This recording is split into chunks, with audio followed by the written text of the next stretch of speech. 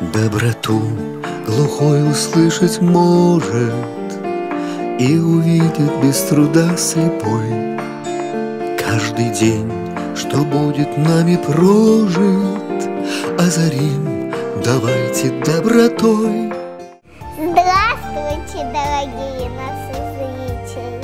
Вы смотрите новости Добро ТВ.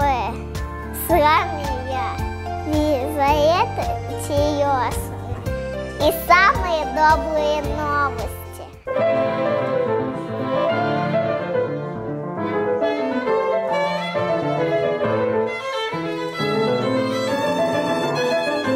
Ночь в музеях прошла в Москве. Подробности в нашем видео Уже второй раз мы играем в музей Голубкина или на ночь в музее. Большое спасибо музею, что нас сюда приглашали.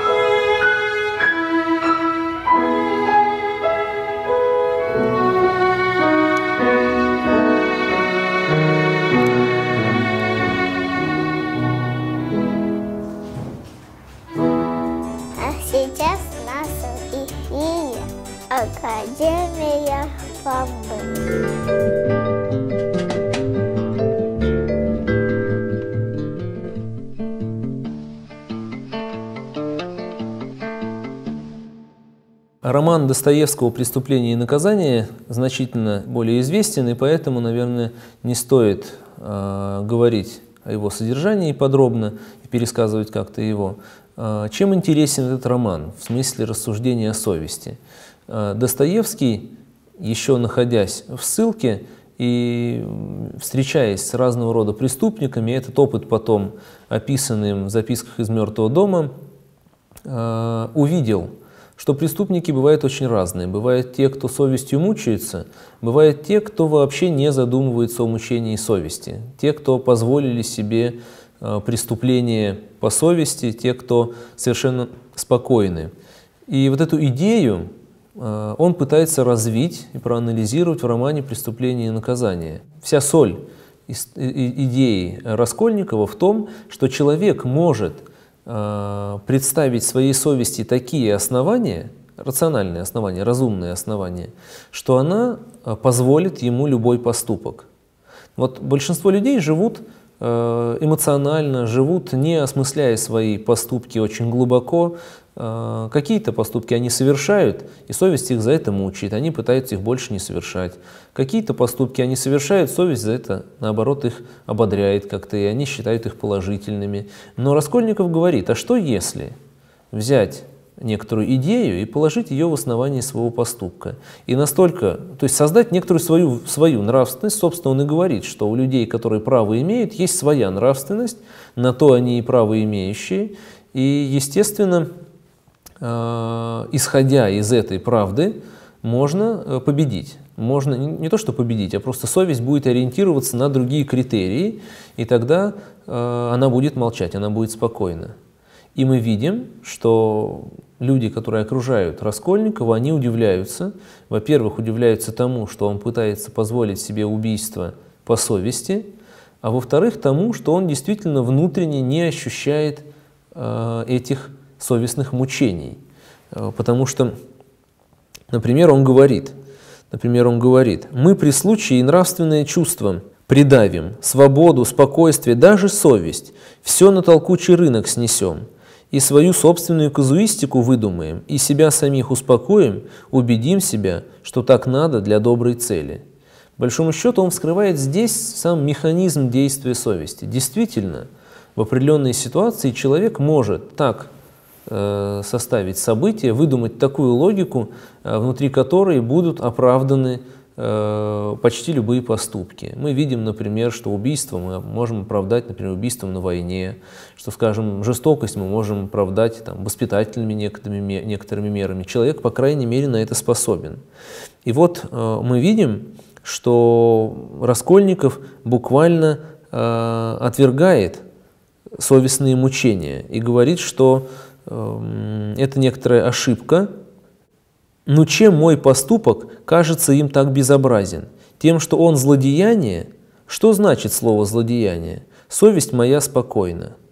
То есть э, первоначально в то состояние, в которое приходит Раскольников, это э, состояние немой совести, когда он убедил ее настолько в своей правоте, что э, она молчит и не, не спорит, не, никак не пытается его укорить. И вот в чем интерес э, романа, в чем, собственно, его такая глубина, не только в этом вскрытии совестных некоторых процессов, но и в том, что Евангелие может оказать на него, э, на героя, может оказать на его совесть исцеляющее э, влияние. То есть Раскольников, даже находясь на каторге, считал, что он просто смолодушничал, что есть все-таки великие люди, которые могут себе позволить те или иные поступки сверх обычных людских поступков. И вот мы видим, как Соня, э, которая читает ему Евангелие, читает Евангелие о воскресении Лазаря, она этим рассказом, она как бы пробуждает его совесть. Э, более того, он, скажем так, переживает по всей, по всей вероятности некоторую, э, некоторые изменения, но интересно, что это изменение остается за кадром остается за границами, за рамками самого романа.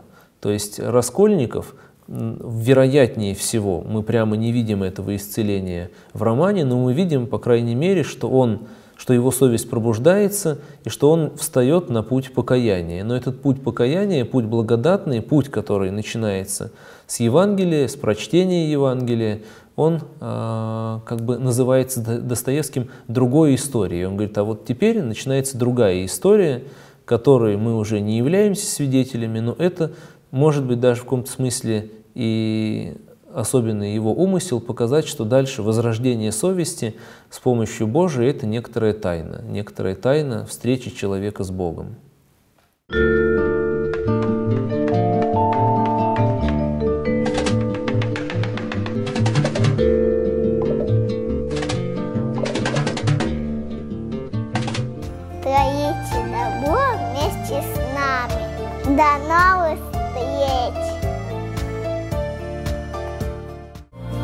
Старайтесь быть добрее и сердечнее.